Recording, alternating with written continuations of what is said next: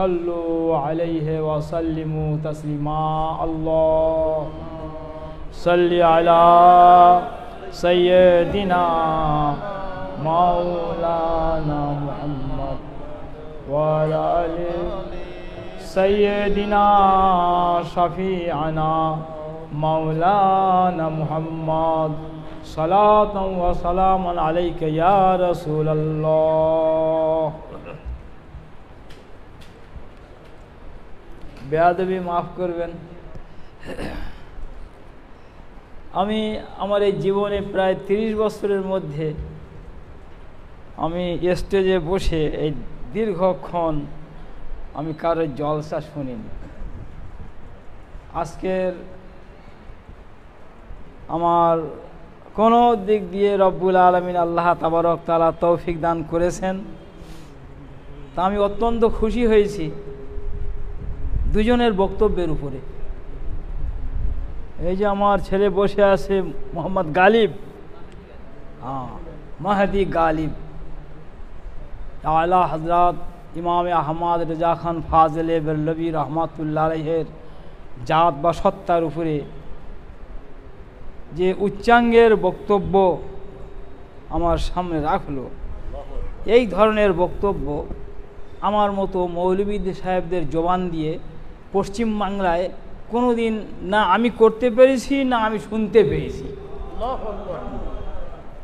তবে গালিব, তুমি আমার ছেলের মতো। এই সভায় তোমার কিন্তু খালি মাথায় আসাটা উচিত হয়নি। আগামী দিনে এই রকম সভায় যখন আসবে, সুর থাক কোট থাক, টাই থাক, কিন্তু মাথার টুপিটা রাখবে। কিছু মনে করো না। আর দুই নম্বর আমার স্নেহের মাওলানা কি নাম? এ হ্যাঁ শহীদুল্লাহ বাহাদুরি আলহামদুলিল্লাহ। সুবহান আল্লাহ আলমানি সম্পর্কে দু ঘণ্টা, তিন ঘণ্টা যদি ও বলতো, তা আমি আজকে সভা থেকে সরতাম না।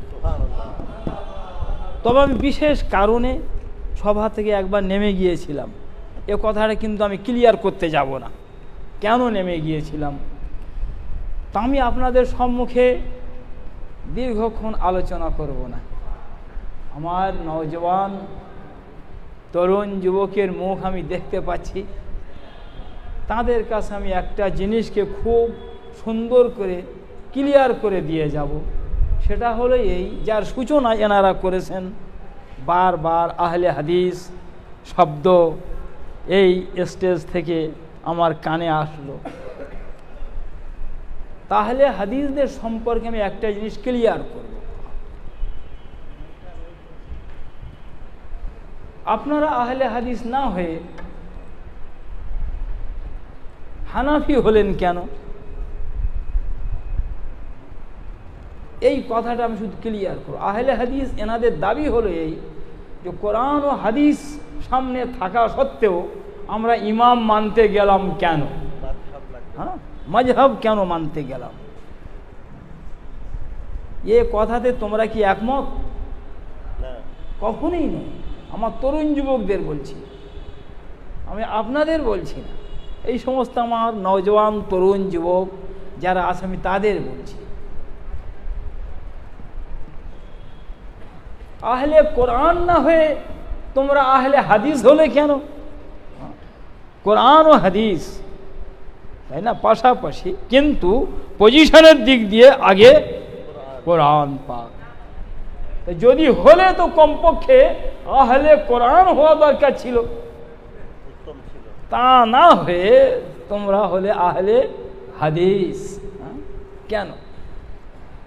যাক তোমাদের দাবি হলো এটাই যে কোরআন ও হাদিস সামনে থাকতে মাঝহাব বা ইমাম মানতে গেলাম কেন? তা কোরআন বলে কাকে?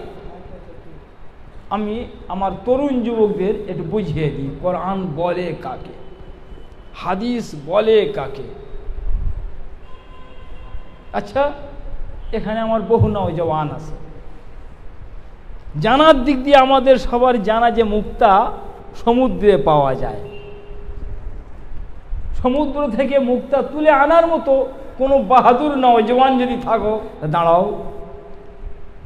সম্ভব হবে না। কেন?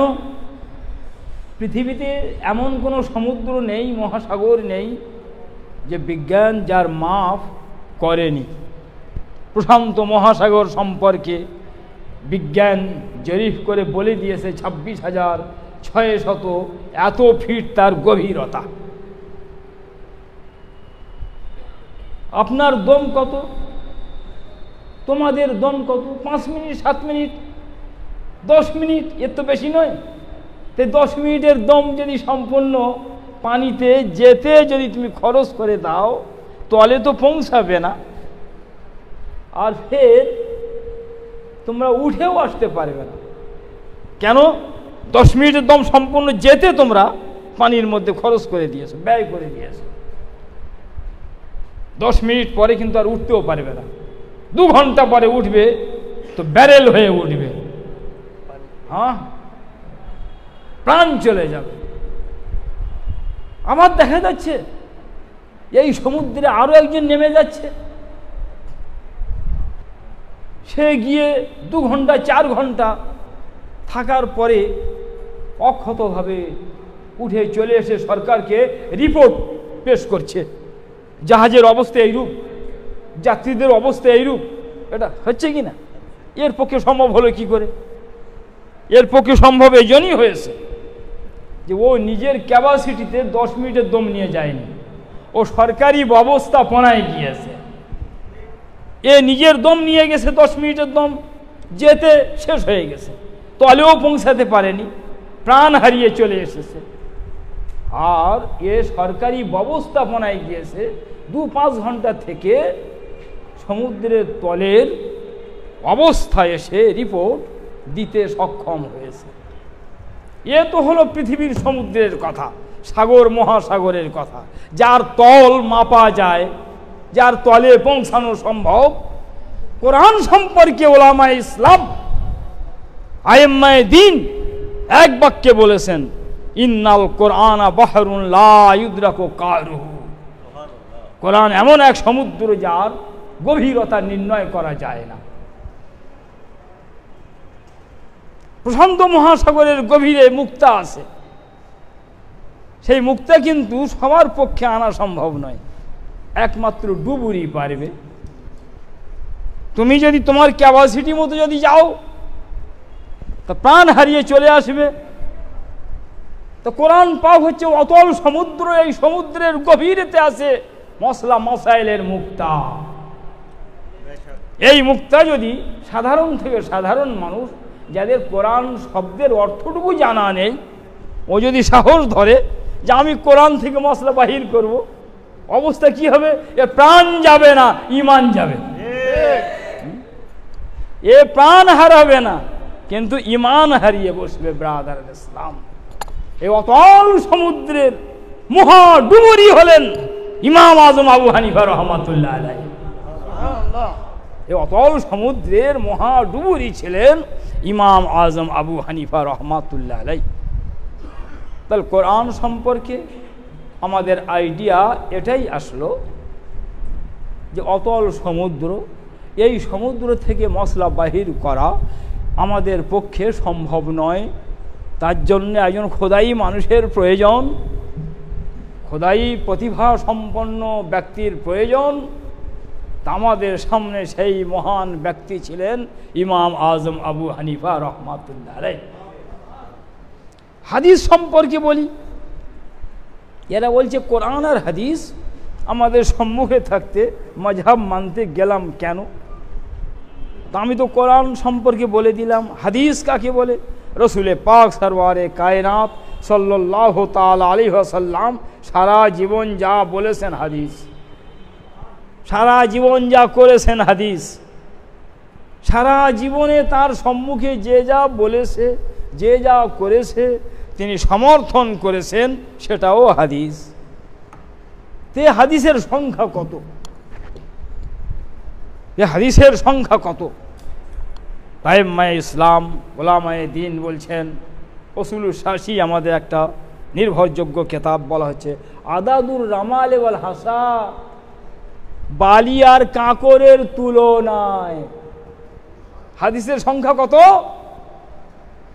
তো আয়েম্মায় দিন বলছেন বালু আর কাঁকরের তুলনায়। তো বালু আর কাঁকুর কি আপনারা গুনে শেষ করতে পারবেন? হ্যাঁ? তা আপনি তো হচ্ছেন আহলে হাদিস। হ্যাঁ? ওদের আলেমরা বলছে আমরা আহলে হাদিস। সাধারণ থেকে সাধারণ মানুষ যার পেশাব করার, পায়খানা করার সিস্টেম জানা নেই। হ্যাঁ? সেও বলছে, আমি আহলে হাদিস। তো কত হাদিস মুখস্থ আছে? হ্যাঁ? হাদিস এবং কোরআন থেকে মশলা মশাইল বাহির করা আয়েম্মায় দিন ছাড়া সাধারণ আলেমের পক্ষেও সম্ভব নয়। হ্যাঁ? যারা মুস্তাহিদ তাদের পক্ষে সম্ভব। সাধারণ আলেমের পক্ষেও সম্ভব নয় ব্রাদার ইসলাম। সাধারণ মানুষ যদি কোরআন হাদিস থেকে মশলা বাহির করতে যায় অবস্থা কি হবে? ওখানে তো প্রাণ হারিয়েছে এখানে ইমান হারাবে। আমি ও কথা বহু জায়গায় বলি আজও বলছি কলকাতায়। আমি নাম বলতাম কিন্তু বলব না এই জন্য তিনি দুনিয়া থেকে চলে গেছেন। এক পীর সাহেব ছিলেন সারা জীবন ওনার নয়জন করে বিবি যতদিন বেঁচেছেন নয়জন বিবি একসঙ্গে রেখেছেন। তো এই পীর সাহেবের মুরিদ কিন্তু কম ছিল না। শয়ে শয়ে না হাজারে হাজার। এখনও আছে। সবার দাবি একটাই, কোরআন যদি বুঝতে হয় একমাত্র প্রিয় পাইগম্বর আহমাদে মুস্তফা মোহাম্মদ মুখতার সাল্লাহ ইসলাম এ কথা অতি সত্য কথা, এতে আমরা সবাই একমত। আর দ্বিতীয় যদি কেউ বুঝে থাকেন এবং কোরআনের ওপর যদি পূর্ণত আমল করে দেখান, তা আমাদের হুজুর কেবলা আমাদের পীর সাহেব কেবলা আমল করে দেখিয়েছেন কোরআন, হাদিস থেকে হ্যাঁ মশলা বাহির হচ্ছে, ব্রাদার ইসলাম, আল্লাহ তাবারক তালা কোরআন পাকে বলেছেন, দলিল দিচ্ছে, ফানকাহু মা তোয়াবালাকুম মিনা নিসা মাথনা ওয়া সুলাসা ওয়া রুবা আল্লাহ তাবারক তালা ঘোষণা করেছেন, তোমরা পছন্দ মতো বিবাহ করো। মাসনা দুই, সোলাসা তিন, দুই আর তিন কত হয়? পাঁচ হ্যাঁ? অরুবা চার হ্যাঁ? মাসনা ও সুলাসা অরুবা দুই, তিন, পাঁচ আর চার কত হয়? নয়। কোরআন বলছে নয়জন বিবি রাখতে। আর হুজুর পাক সাল্লাহ সাল্লাম আমরা হাদিস দেখিয়ে দিয়ে দিব। একসঙ্গে নয়জন বিবি রেখেছিলেন আর আছে হাদিস পাকে যে আল্লাহ রসুল এক সঙ্গে নয়জন বিবি রেখেছিলেন তাহলে কোরআনের সঙ্গে হাদিসকে ফিট করে রেখে দিচ্ছেন যে আমল যদি করতে হয় কোরআনের উপরে, তো রসুলের পাল সরবারে কায়নাত সাল্লাহ সাল্লাম তিনি আমল করে গেছেন। আর তারপরে যদি কেউ আমেল যদি হয় আমাদের পিছা বিল্লাহ। কোরআন থেকে কি মশলা বাহির করা হলো? কি হলো? ওখানে প্রাণ হারিয়েছে। এখানে ইমান হারা হতে হবে। এটা বাস্তব কথা বলছি। কলকাতার পীর সাহেব চলে গেছেন। আমার সঙ্গে এক পীর সাহেবের সম্পর্ক ছিল। এ পীর সাহেব প্রথম জীবনে খুব নামাজি, খুব রোজাদার, শরিয়াতের চরমভাবে আমেল মানুষ ছিল। পরবর্তীকালে আল্লাহ তাবারকতালা কি মেজাজ দিয়েছেন? নামাজ, রোজা সব ত্যাগ করে দিয়েছেন। আমি বিশেষ এক কারণে রমজান মাসে বেলা সাড়ে নটা, দশটার দিকে আমি ওনার বাড়িতে উপস্থিত হয়ে গেছি। উনি যখন খবর পেয়েছেন যে মৌলবী সাহেব এসেছেন, গোলাম সামদানি মৌলবী এসেছেন, অল্প সময়ের মধ্যে দেখছি পীর সাহেব কিন্তু বার হননি। ফকির সাহেব, পীর সাহেব ফকির সাহেব। ও ছোটো ছোটো বাচ্চাদের দিয়ে একটা প্লেটে করে হ্যাঁ নাস্তা আমার জন্য সাজিয়ে বের করে দিয়েছে। এক গ্লাস শরবত করে দিয়েছে। তা পরিবেশ এমন করে ফেলেছে, এরাও জানে না নামাজ কাকে বলে, রোজা কাকে বলে। বাচ্চারাও জানে না।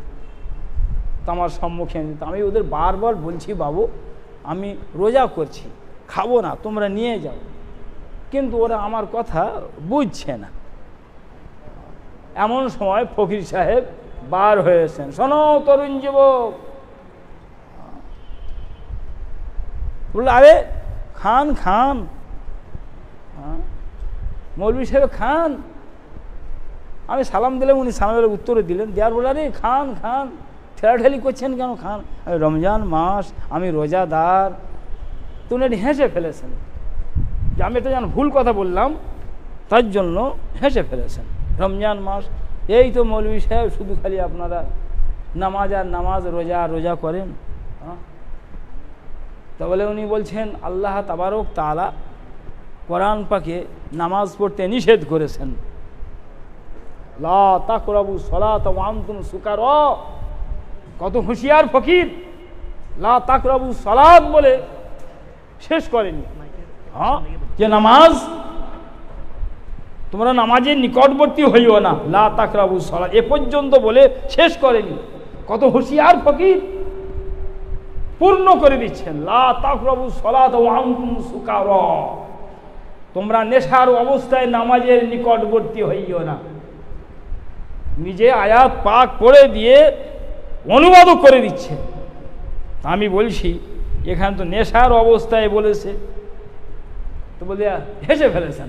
কেন, আমি একটা বাচ্চা ছেলে, যেন বারবার ভুল কথা বলছি, তেমনি হেসে ফেলেছেন। হেসে বলছি, এই তো মৌলবী সাহেব। ফের আবার বলছেন, নেশার অবস্থায়। তা আমি তো বলছি যে, নেশার অবস্থায় নামাজের নিকটবর্তী হইও না। তখন বলছে, নেশা কাকে বলে? নেশার ডেফিনেশন কি? সংজ্ঞা কি? আল্লাহ তো বলেননি যে মদের নেশা, গ্যাজার নেশা, আফিনের নেশা, তাও তো বলেননি।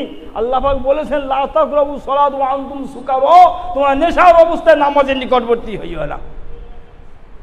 এবার নেশা বলছে, আরে কারোর গাড়ির নেশা, কারোর বাড়ির নেশা কারোর পাশ করার নেশা, কারোর ফার্স্ট ডিভিশনে পাশ করার নেশা, কারোর স্ট্যান্ড করার নেশা। আপনি আমার বাড়িতে এসেছেন একটা নেশা নিয়ে, আমার বাড়িতে কাজ সেরে চলে যাবেন আরও একটা নেশা। হ্যাঁ? নেশা ছাড়া কোনো মানুষ নেই। দেখেছেন তো? আমরা হয়তো বলব যে উনি লা তাকরাউ সলাতে হাফ পড়ে দিয়েছেন, তা নয়। সম্পূর্ণ পড়ে দিয়ে নেশার ব্যাখ্যা করছেন। নেশা ছাড়া কোনো মানুষ নেই। তো নামাজ পড়বে কখন? নামাজ পড়বে কখন?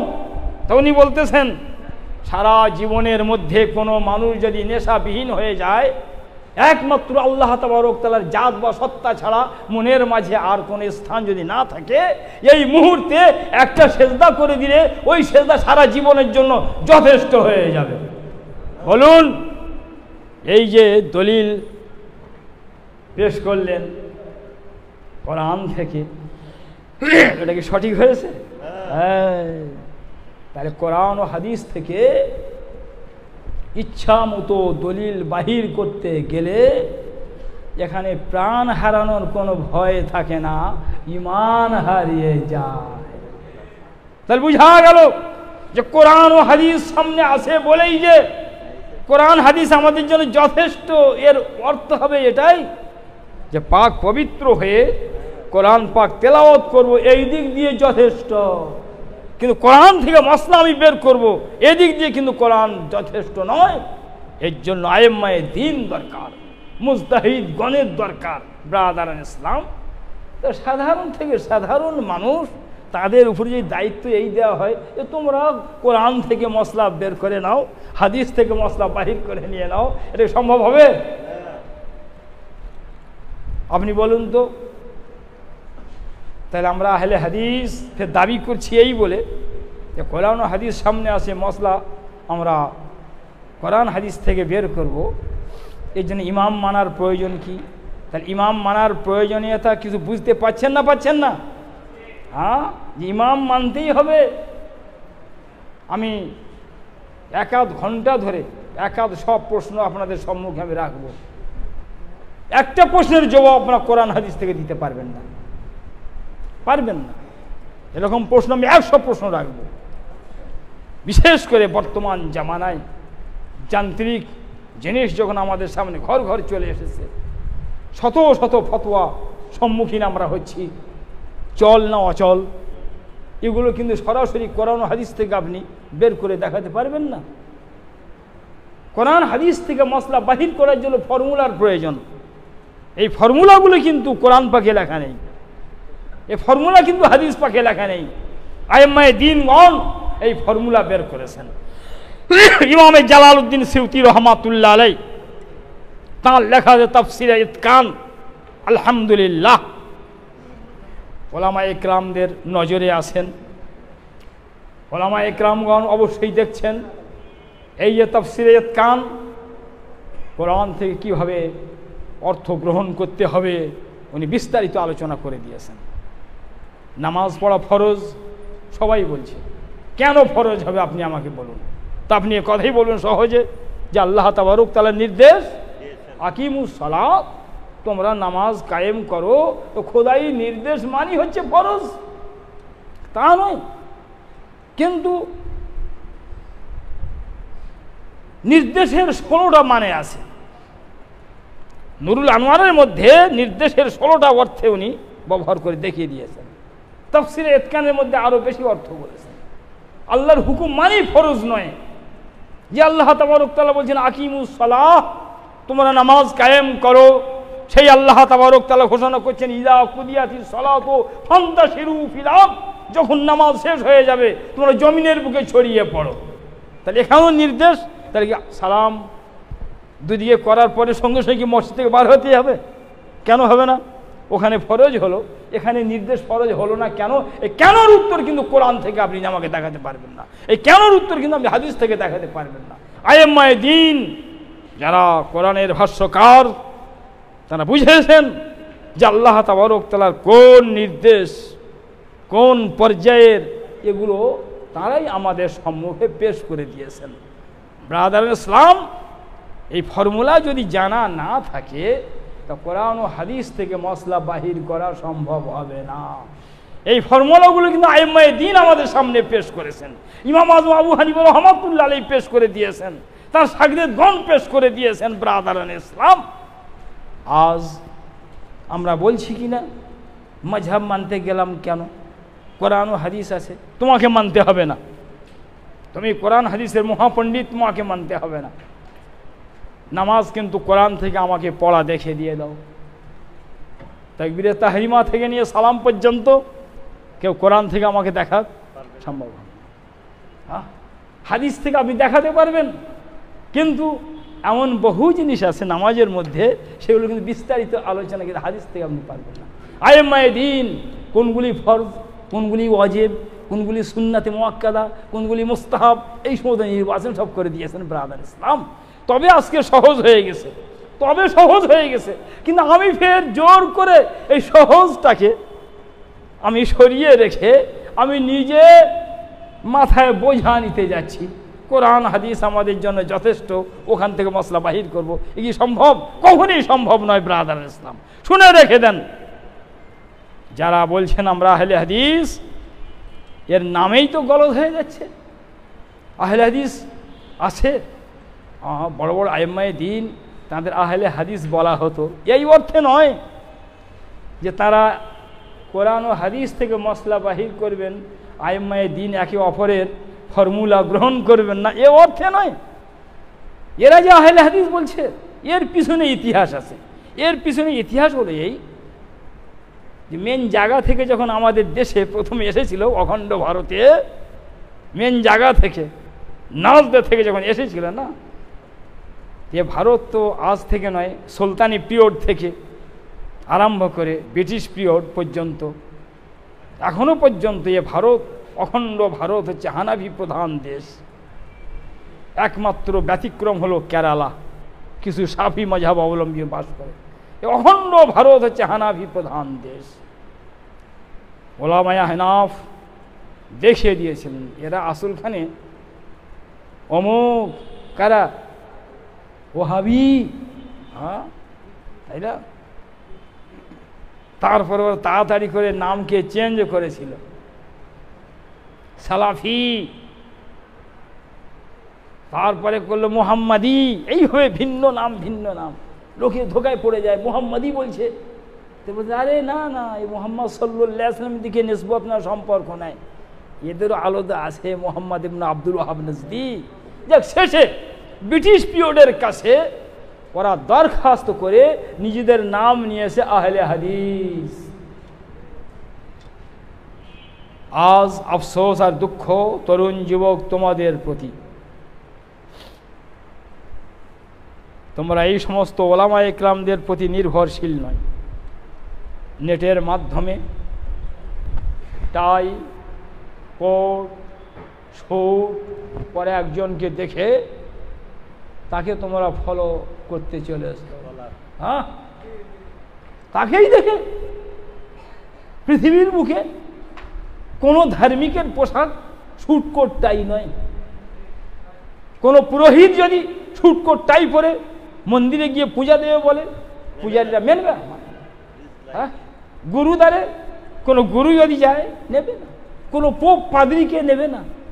আজ তোমরাই দেখছ যে পাগড়ি, জুব্বা, তসবি, লাঠি, এটা হচ্ছে আমাদের পিরানে পীরদের একটা আলামত। শায়েক মশায়েকদের এটাই চিহ্ন। অথচ তোমরা সেগুলোকে ভুলে গিয়ে ছুটকোট টাই পরা তার পিছনে চলে যাচ্ছ। তোমরা আহলে হাদিস হতে যাচ্ছ। তোমাদের লজ্জা করা দরকার। আজ মৌলানা মুফতিদের তোমরা দ্বারস্থ হচ্ছ না। কোথায় যাচ্ছ? একটা ডক্টর নয় ডাক্তার। হ্যাঁ? তার কাছে। শোনো আমি গোলাম সামদানি মৌলবী একজন মৌলবী মানুষ। কিন্তু আমার এই বডিকে যদি চেক করার প্রয়োজন হয় নিশ্চয়ই আমি ডান দিকে এনার কাছে যাব না বাম দিকে এনার কাছে আমি যাব না। কোথায় যাব? ডাক্তারের কাছে যেতে হবে। যদি আমার কোনো বাড়ির প্ল্যান নেওয়ার যদি প্রয়োজন হয় হ্যাঁ নকশা যদি দরকার হয় ইঞ্জিনিয়ারের কাছে যেতে হবে। যদি আমি কোনো পরামর্শ নেওয়ার প্রয়োজন হয়, কোনো অ্যাডভোকেটের কাছে যেতে হবে হ্যাঁ? তাহলে আমি তো আমার জায়গায় নেই। কেন অভাব আছে? সেই জন্য আমাকে বিভিন্ন জায়গায় যেতে হচ্ছে। ডাক্তার লয়ার ইঞ্জিনিয়ার শরীয়ত জানার জন্য, নিজেরা স্বয়ংসম্পন্ন, কখনই নয়। তাকে আসতে হবে এই দরবারে। মুফতির কাছে আসতে হবে, মৌলানার কাছে আসতে হবে, মহাদ্দিসের কাছে আসতে হবে, মৌলবীর কাছে আসতে হবে। কিন্তু এই কথাটা ভুলে গেছে। নিজেরাই স্বয়ং সম্পন্ন সাজছে ব্রাদার ইসলাম আজ তোমরা ফলো করছ কাকে? হ্যাঁ? ডাক্তারকে? সি নিজেকে হানাফি মজহাব ত্যাগ করে আহলে হাদিস হচ্ছ। অথচ এই হানাফি মজহাব কোরআন হাদিসের সবচাইতে কাছাকাছি। বড় বড়। মজহাবের দিক দিয়ে আমরা হক মজহাব চারটে বলি, তাই না? হানাফি, সাফি, মালিকি, হাম্বালি বলি। চারটে সমষ্টি হচ্ছে আহলে সুন্নাত। কিন্তু যেহেতু আমি একটা ডাক্তারের কাছে যখন বডিকে চেক করি, একটা প্রেসক্রিপশন যখন তৈরি করে নিছি, এর উপরে আমি কিন্তু অন্য ডাক্তারের কাছে এখন আর যেতে পারব না। এতটুকু কথা বললাম। তা আমি দেখে দিয়ে দিব, সাফি মাজহাব থেকে বড় বড় আয়েম্মায় দিন। ইমাম আজম আবু হানিফা রহমাতুল্লাহ আলহের মাঝহাবে চলে এসেছেন এর বহু নজির আছে, বহু নজির আছে। এখানে কেবলমাত্র আমি একটা জায়গায় আপনাদের, তোমাদের সামনে আমি তুলে ধরছি। শুধু মজহাবের গুরুত্ব শুধু দেওয়ার জন্য। তোমরা আজ কোন দিকে চলে যাচ্ছ? ইমামে তাহাবি, আবু জাফর তাহাবি আলাইহের রহমা। ইনি ছিলেন কিন্তু সাফি ঘরের মানুষ। ইনি ছিলেন সাফি ঘরের মানুষ। এনার মামা ইব্রাহিম মাজিনী রহমাতুল্লা আলাই ইমাম সাফি রহমাতুল্লা আলহের প্রথম সারির শিষ্য ছিলেন। তাই ইমামে পাঁচ মিনিট হ্যাঁ, পাঁচ মিনিট। ইমামে সাফি রহমাতুল্লাহ আলাই তার প্রথম সারের শিষ্যকে ইব্রাহিম মাজনি রহমাতুল্লাহ আলাই আর তার আপন ভাগনা আবু জাফর তাহাবি রহমাতুল্লাহ আলাই তা আবু জাফর তাহাবি রহমাতুল্লাহ আলী যখন মায়ের পেটে ছিলেন ওনার মা এন্তেকাল করেছিলেন। তো ওনার মায়ের এন্তেকালের পরে মায়ের পেট কেটে আবু জাফর তাহাবিকে বের করা হয়েছিল।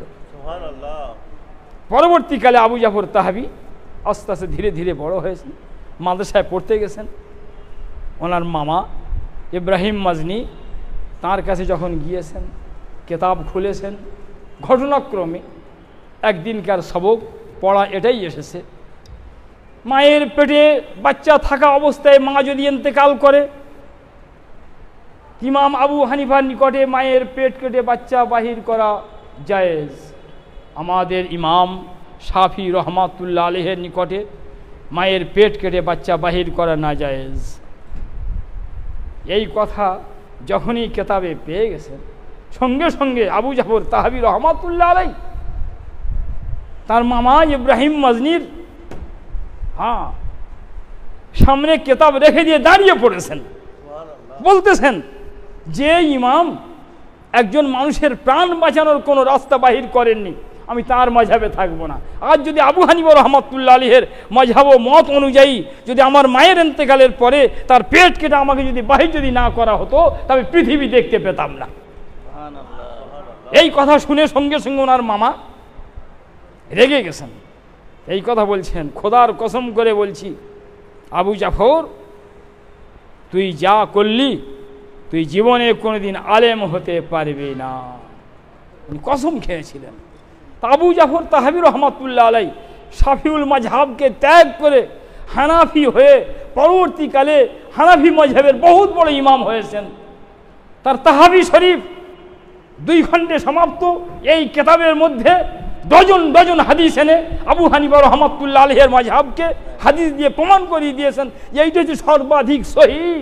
কান পর্যন্ত হাত উঠাতে হবে, ডজনাধিক হাদিস, নাভির নিচে হাত বাঁধতে হবে, ডজনাধিক হাদিস। প্রতিটা জায়গায় ডজন ডজন হাদিস এনেছেন ব্রাদারান ইসলাম। তাই যখন উনি কোনো বক্তব্য দিতে উঠতেন তাবু জাফর তাহাবি সর্বদা এই কথাই বলতেন, শুরু করতেন, আয় আল্লাহ পাক, আমার মামাকে তুমি মাফ করে দাও।